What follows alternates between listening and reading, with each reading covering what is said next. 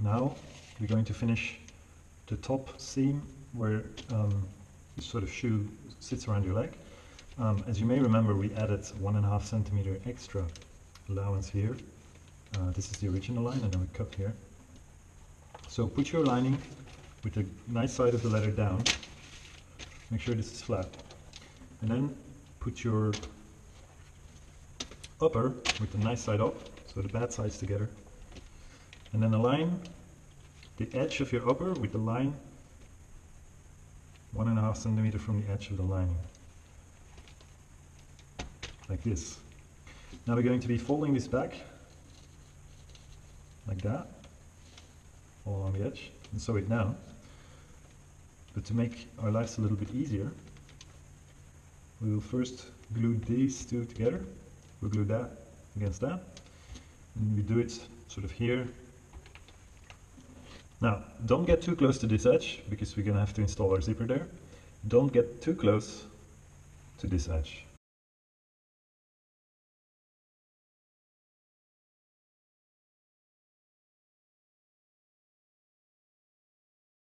And do the same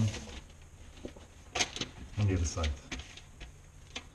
Now we're going to fold this back under the upper. Now we have to do this all the way around. And if this was fabric we could pin it in place, but this is leather and we cannot. So this is going to be a little bit finicky.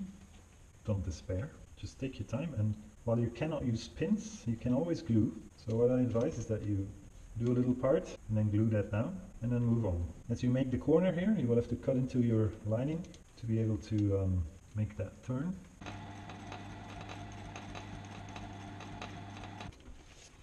So I've now secured this lining in place along the edge here. You can see it here on the back side and this difficult front. With our lining secured around the edge of the shoe, Time to put in our zipper. I have bought two zippers. Um, and we're going to be placing these here. Like that. There we go. We're going to be placing the zipper between our upper and our lining. I'm going to make sure that you keep enough distance so that the zip can open and close without getting caught.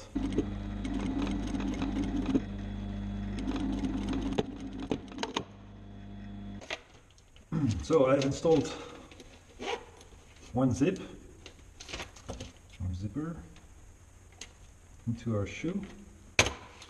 You can make your life a little bit easier by buying a dividable zipper, a zipper that separates. This doesn't, so it can get a little bit uh, tricky, but not impossible. On the inside we have our lining, doesn't interfere with the zip.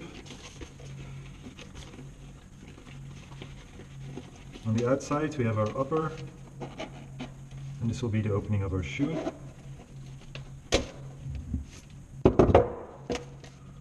Later on, the edge of our zip will go underneath,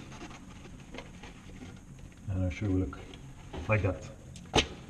I'm going to install the second zipper and after that we're finally going to start lasting.